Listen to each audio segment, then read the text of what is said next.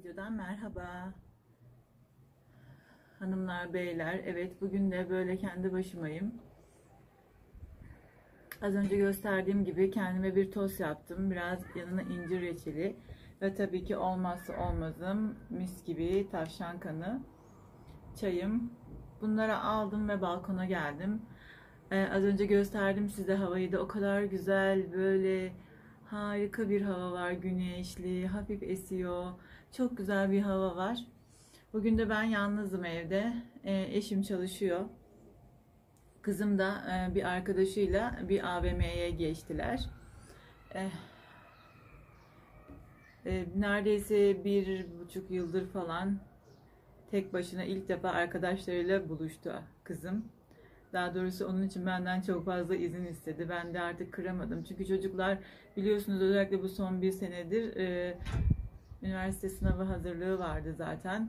Çocuklar hiç görüşmediler. Sürekli ders çalışıyorlardı. Üstüne bir de pandemi vardı. Koronadan dolayı zaten e, kızım yaklaşık bir buçuk yıldır falan hiç arkadaşlarıyla görüşmedi. Tabii ben de görüşmedim. Hiç kimse görüşmedi. Bizim evde ailece yani biz hiç arkadaşlarımızla görüşmedik. Zaten kızım derslerine çalışıyordu. Pandemi vardı derken çocuklar iyice bunaldılar açıkçası.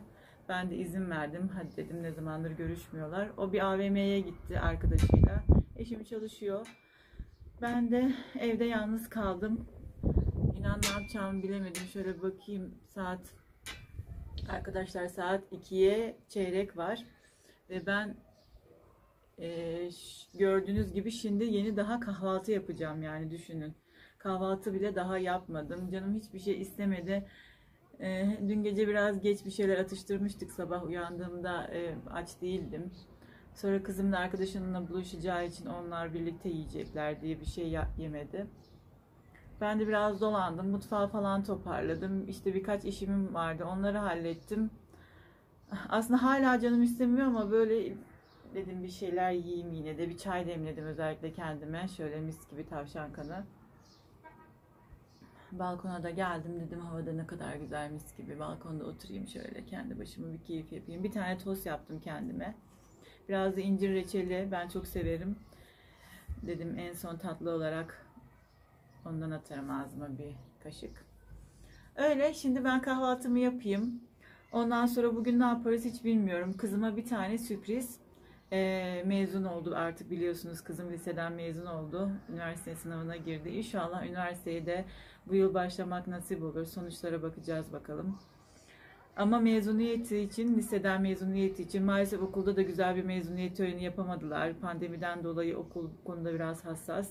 Sadece bir kep atma töreni yaptılar. Onun haricinde bir mezuniyet balosu töreni falan da olmadı. Ee, ortaokuldayken çok güzel yine kolejde bir e, balo yapmışlardı. Harikaydı.